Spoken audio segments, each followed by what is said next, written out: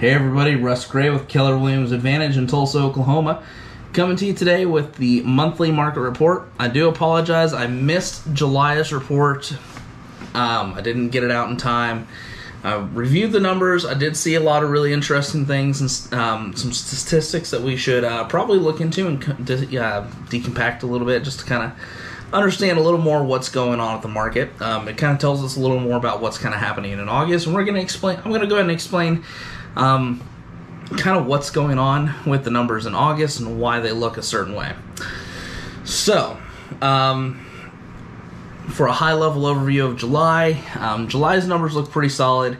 Our month supply of inventory is at 2.02, which was up a little bit more from uh, June's numbers, which is good. Um, month supply of inventory, or uh, end of month inventory, obviously down by about 50% from the year before that. Uh, average list price is around 250. Average sales price is two, uh, 248, uh, 249 we'll call it. Uh, closed listings, pending listings, new listings. It's starting to get a little bit better for the pending and the new listing side. Closed listings are starting to kind of dwindle down. We're starting to dwindle down a little bit in July. Um, August, we're up a little bit more, and I'll explain why I think that is, and kind of why we're starting to see a little bit of a shift in regards to the market. Um, not a shift um, that's going to be like a huge major swing back another direction from where we were about a year ago or two, even two months ago. Uh, but more or less just kind of uh, an indication as to what's going on with August, uh, what we can kind of suspect for September and moving forward until we hit maybe about, uh, say, usually about November, we start to see a little bit of an uptick. And then we see a little bit of a drop off towards the end of the year, start of the year, then February, uh, February, March, April, we start to see it pick back up again. Um, so let's talk about August real quick because August is going to be kind of a key element here. Um, something I do want to bring up is August's numbers look really good. Um, however, August numbers are slightly lower than they were in July. I'm going to explain why that is here in just a minute. Um, so August numbers. Uh, total closed listings was 1907 up from 1872 in 2020. Our pending listings are 2174 up from 1937. Our new listings, uh, 2496 up from 2329. Um, that's a swing of about 150 no more listings, uh, right about there. Uh, sorry, like 170 new listings. Uh, average sale, average list and average sales price were lower than they were in July, uh, down 244, 584.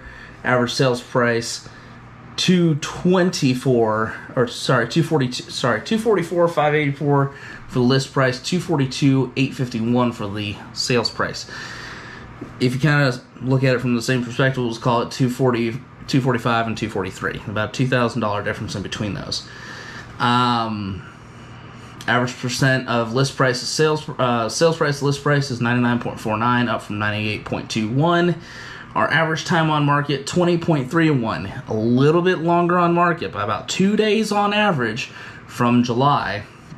And our month supply of inventory is uh, 37.23 which is down again 40% 42% uh, from last year at 50 uh, 65.17 and our month supply of inventory 2.18 a little bit longer than it was at in the july. Uh, not by much. Uh, point, uh, 0.16 more uh, month supply of inventory. Uh, which realistically that's just a couple of days. Um, so let's talk what's going on in the market. What are the differences what concerns is there, what good signs are there, and what does this mean for you as a buyer, as a seller, as an investor, as somebody who's out looking, as well as we're going to cover some information from an article um, that we're going to have that I'm going to talk to you about a little bit more too. Um, I saved it here on my Facebook, so uh, it's going to be pretty interesting to see. Um, so let's start off with some information in regards to the data. I will try to put up some graphics. I will apologize if they don't come through. Um, I do want to kind of back up a lot of what I'm saying with actual details that might make sense to y'all, um, so that way you can see a little more what's going on. So, let's talk the end of month inventory. Let's talk about the month supply of inventory, and that that that number has come up since July. There's an additional about 300 homes.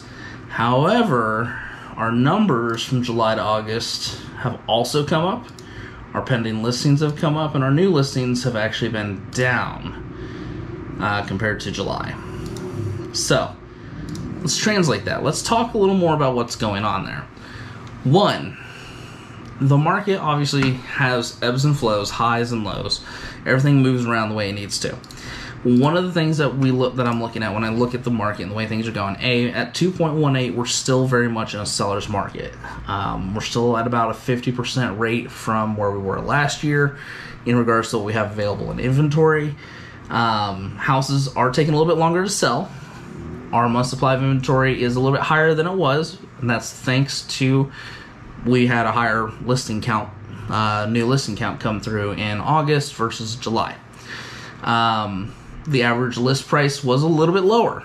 Let's be honest. July's numbers was around 250, August numbers around 244. However, when we look at the year to date numbers uh, compared to the July numbers, our year to date um, for 2021 average list price is 237,578, average sales price at 235,036, compared to July's year to date was 236 573 and 233 685 so our numbers have come up a little bit in terms of those averages which is good. Um, we're still selling houses at a higher price. Uh, this just means realistically the numbers are a little bit different. It's been moving around. Uh, buyers are having a little bit of an easier time getting the homes they want. And there's sometimes getting a chance to negotiate a little bit on those how those homes just a little bit more. Um, our average time on market is up to 20 days versus 18 last month. Um, if you really want to break it down by neighborhood, I'll give you a great example. The neighborhood I live in, Turtle Creek at Midway, uh, in Broken Arrow, the average time on market for that neighborhood is about nine days, compared to the general average over the area of uh, the Greater Tulsa Association Realtors at 20, it's about a half of about half the time of the average on market, which is great. Um, means things are just selling that quick. Um, but we want to take a look at some additional information. What do we know about how those percentages are looking compared to a couple years ago? We're definitely at that 100% 100% mark. Um, a vast majority of the homes between 225 and 425 are selling at or above. Um, when you take in those numbers, uh, that's that's about 65% of the market. 65% of the market still selling at or above asking price. The ones that are selling below, if it's under 2 125, it's selling on average below asking price. If it's over 425, it is selling a little bit below list price. Um, but if you're in that sweet spot of 125 to 425, you're usually right on the money at the 100% mark. Um, so that's good to see. Um, sold price, if we start breaking it down, uh, the sales price between them all, um, it looks pretty solid. I'll, yeah, I'm just going to kind of break it down. Um, a vast majority of our homes are in the 175 to 250 range. Uh, 470 of the pending homes or sold homes were in that price range. That's about a quarter of the market. Um, the average price point in that ballpark was at 212. Um, good portion of those homes that sold were in the three bedroom category as well too. So that's something to definitely take into consideration. Um, the prices, the average prices, continue to jump higher and higher. Um, we're kind of starting to see what I expected in regards to uh, the market and how it was moving. Um, 2020, we saw kind of explosive growth. Um, versus uh, this year, we're still seeing the growth, but we're not seeing it um, at the rate that we did a year ago. Uh, one year ago, we were in pretty rough condition with well, I wouldn't say rough, but we were uh, seeing our prices and our values increase by about 25%. Uh, right now, our year, one year, uh, about a 10% rise, uh, which isn't isn't bad. Um, that's actually a pretty good number to see at the end of the day. Um, it means we're still seeing some of the residuals from that. Um, however, as the market tends is tending to shift and kind of change a little more into um, starting to kind of swing back towards like a balanced market. We're going to start seeing that that, for the uh, average numbers. So, listings, closed listings are up, pending listings are up, new listings are up. However, time on market's a little bit longer, and our month supply of inventory is a little bit longer. What's going on in August? School. Plain and simple. Um, this is kind of a typical normal trend for Tulsa.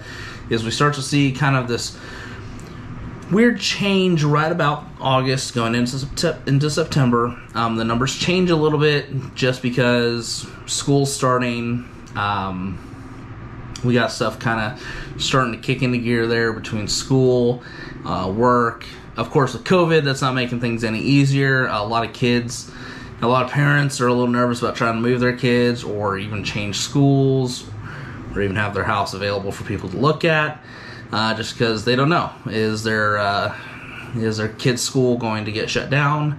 Are they going to be uh, you know work from home? Are they going to have to do school from home? Um, so there's a lot of little kind of moving parts in there as to what's going on with why there's a little bit of a lull in the market right now, why it's kind of shifting and changing a little bit.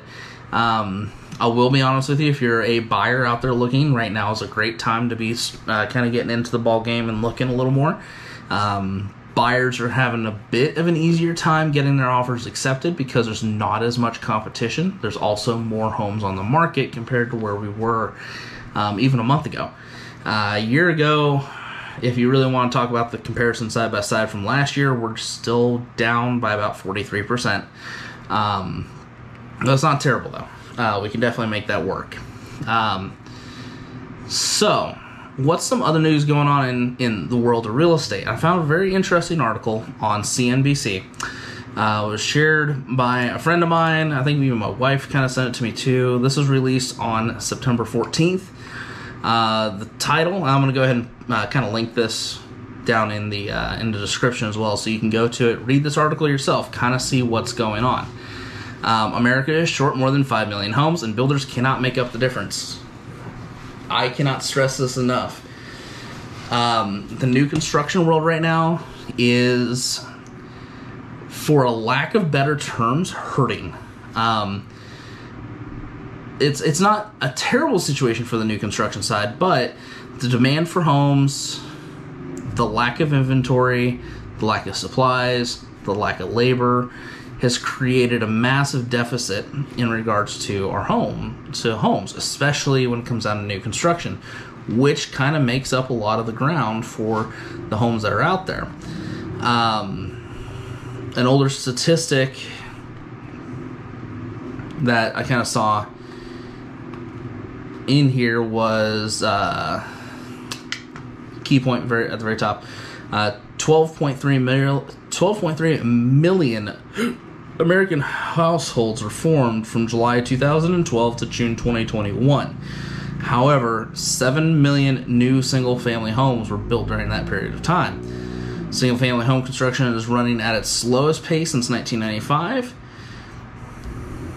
And yeah, uh, Pulte Group lowers Q3 and full year guidance for home closings, citing supply chain disruptions which 100% I can see that being the case. Uh, while lumber might be getting a little bit easier for people to get hold of and for builders to be able to do what they need to do, the flip side of that has been there's been delays with windows. Uh, windows are taking a while to be ordered and brought in, especially because of vinyl. Um, sometimes faucets, appliances.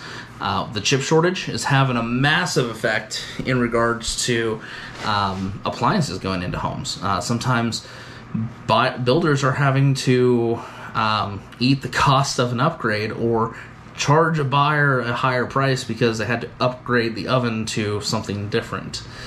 Um, so there's a lot of moving parts in that right now. Uh, new construction is trying to do the best they can to keep up with the demand. However, it's really hard to do that when a lot of the homes that are out there on the market right now, um, the, the lack of supply, the lack of inventory, has created a large demand, and they can't keep up with it because of supply chain issues. Um, so it's just it's a very interesting time to kind of be in the new construction market. It's a very interesting time to be buying a house and be even considering the idea of new construction. Um, it's not a big problem. Uh, definitely means that you know if you're working on buying a home and maybe new construction is a great option for you. Um, look at to get a better idea of what might be available to you. Um, but at the end of the day, new home construction has been affected by supply chain issues, labor shortages. Um, you start talking about things that are going on in, in the world, uh, such as wildfires, delays in regards to things like vinyl being brought in from overseas, uh, chip shortages, all that jazz. It's it's having an effect that's kind of rippling through. Um, drive by any dealership right now and look at what their new car inventory looks like. Um, I drove by a Toyota dealership today, and their lot was pretty much empty, uh, aside from the used car side. So let that sink in.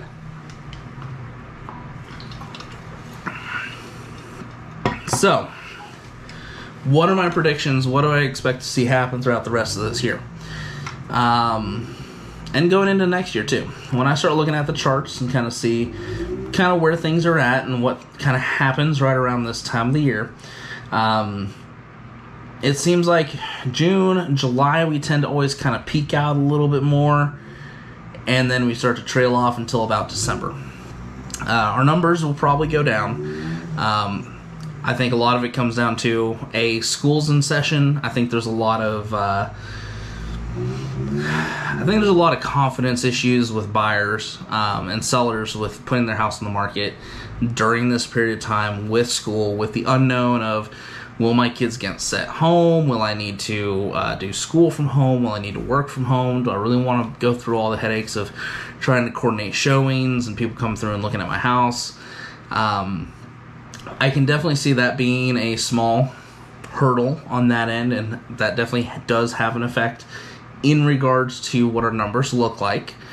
Um, year to date, we're pretty much well over where we were last year. Um, about 1,600 more homes have sold so far year to date this year than we were than had sold at this point last year as well.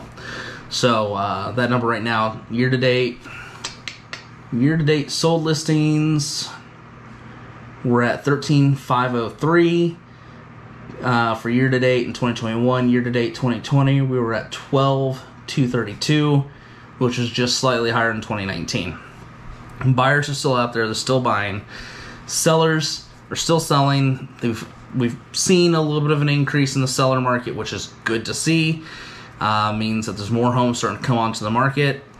The month supply of inventory going up, and the average time on market rising just a little bit compared to where it was in July's numbers is a good indication that um, buyers are having a better opportunity to get the homes that they want, um, and maybe not having to compete nearly as much because there's more homes showing up uh, more options to pick from.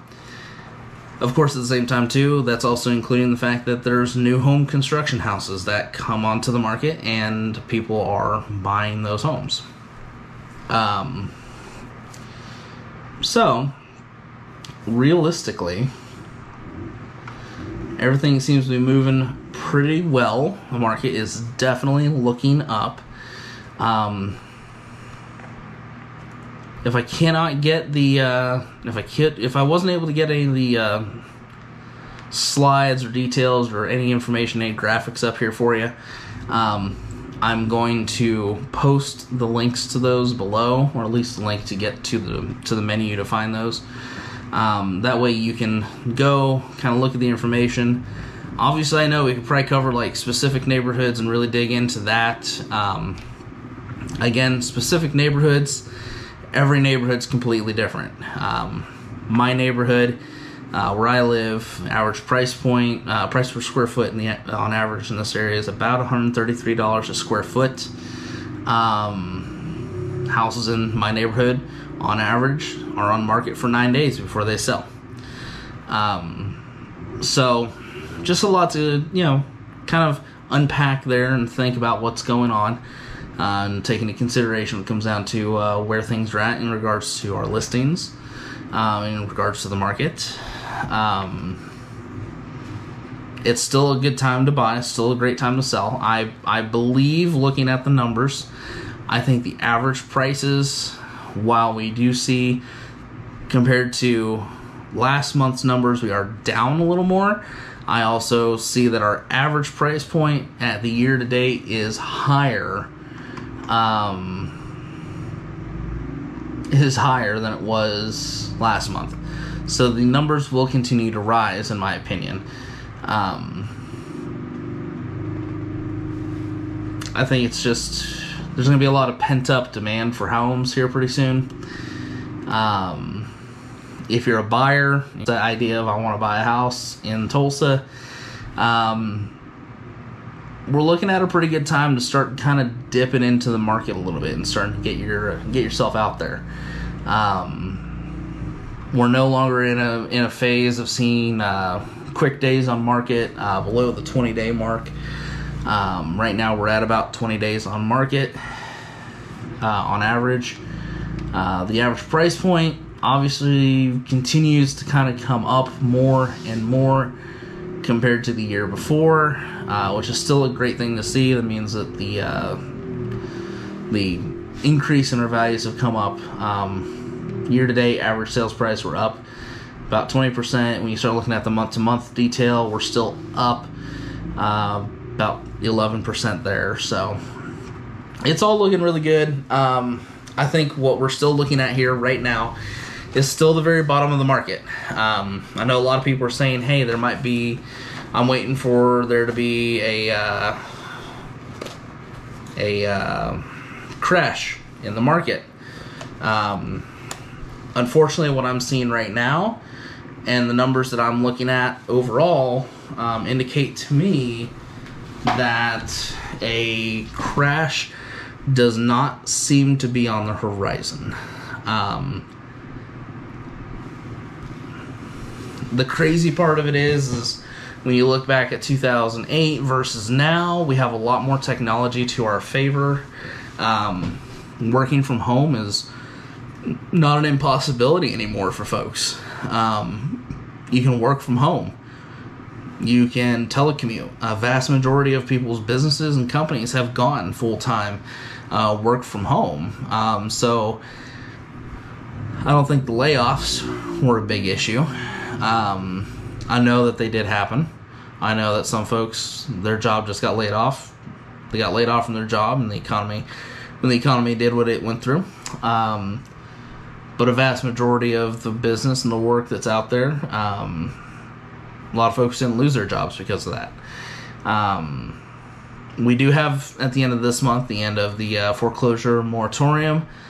Um, that one that one's a hard one to predict what's going to happen. To be honest with you, um, it's always speculation as to what we expect. Some reports, some articles that I've read have said that if we go, if the moratorium gets lifted, and all the homes that are in that in that situation uh, were to hit the market at the same time, it would only increase our month supply of inventory by about a half of a month. Uh, would add an extra 15 days onto the market. Um, we would have kind of a sudden influx of homes hit the market. However, I don't think the moratorium is going to affect the values and the prices of these homes. Because um, what's happened within the last year, thanks to the lack of inventory and the pent up demand from buyers, has resulted in a situation where houses that people aren't making their payments on, that are in that you know pre foreclosure status or preparing to be foreclosed upon, could very easily be listed um, and sell, and maybe not have to face a short sale situation. Um, they could potentially break even. They could potentially even walk away with some cash in hand, depending on how long they've been in their house for and the condition of the home overall. Um, so I believe personally, when the foreclosure market comes kind of back into gear again, we might see a little bit of a lowering of the average price being sold. However, those homes that are going to fall into those categories are going to sell for a higher amount than they would have a year or two ago. Um, which means at the end of the day, the bank's going to make more money. People will lose their homes, but they might actually, if they can kind of sell their house before it all kind of hits, be able to walk away with maybe some cash in their hand um, and save themselves in regards to their credit score. Again, it's speculation. I can't predict the future. I can only look at the numbers and tell you what I believe is going to happen, what has the potential to occur. Um, and that's what it basically comes down to at the end of the day. Uh, I can't predict what's going to happen next with the market. Um, I can tell you based on statistics for our market at this time, um, seeing the numbers that we're seeing, seeing that um, time on market's getting a little bit longer, the uh, month supply of inventory has kind of risen a little bit month over month. Um, frankly, I honestly believe that we're probably not going to run into much of an issue in regards to property values. Um, I think we're going to continue to see rises on that end. I think we will uh, sooner rather than later start to see um, more homes come to the market, uh, which will then feed into the buyer demand. Uh, a lot of folks will be selling a house in order to go buy another one, um, so that's going to just build even more momentum. Uh, builders are having an easier time building houses. The time frames have been cut down uh, significantly thanks to the fact that now they can get through the framing and putting everything together, basically building the skeleton of the house. Um, because lumber's gotten easier to obtain.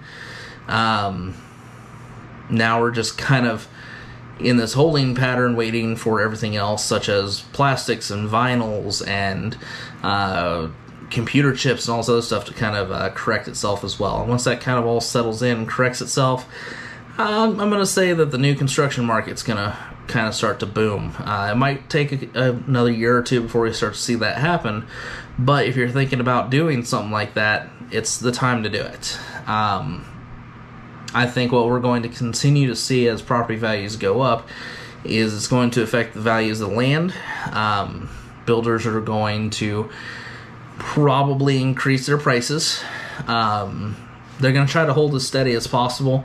However, every year builders continue to ri- raise their prices because either something gets more expensive, uh, be it the land and or the materials, or the labor gets more expensive. Um, so, uh, if you're in the market, if you're thinking about selling, um, please reach out. Let me know. Obviously, we could use more listings.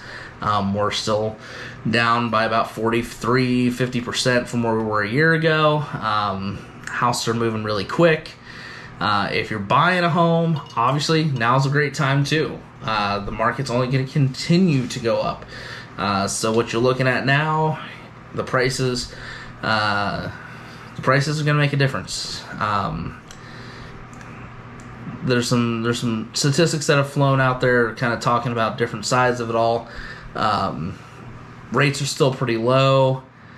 Uh, property values are coming up. It's kind of a nice balance. But if we do see maybe a minor crash and a dip in the market, but then your interest rates come up, um, it's not going to make much of a difference at the end of the day. It's going to end up being a wash or it's going to be more expensive.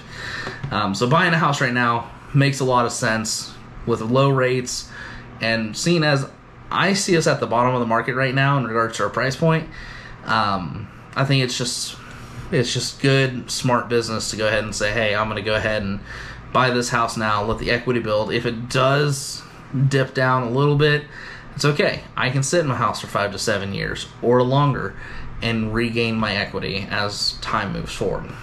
So, if you have any questions or anything I can do for you, if you've been thinking about selling, if you've been thinking about buying, if you're wanting to invest, I can help you with that. Um, I can I do kind of everything. I list, I help people with listings. Um, my average time on market over the last three years or so um, has been about three days on market. I've had some that do go longer. I've had a few that do go shorter, but my average time on market for listings has been about three days on average. Uh, which, when you start looking at the average for the market in general at 20 days, I'm well below what that is. Uh, if you're a buyer, it's starting to get a little bit easier, a little bit more simple to get out there, make the offers, lock down the house, get the contract, and move forward. Um, whether you're an FHA, conventional, VA buyer, um, 184 uh, if you're doing the Native American loans. Um, all of these different programs are starting to kind of kick into gear, starting to get a little bit easier. If you're a buyer, it's getting a little bit less stressful to buy a home. So if you've been thinking about it, let me know. I'm here to help. And uh, hope this gave you a lot of good information, a lot of good details to think about when it comes down to buying a home. Obviously, if there's anything you can do for you, feel free to reach out. I'm always here to help. Thank you so much and have a wonderful day.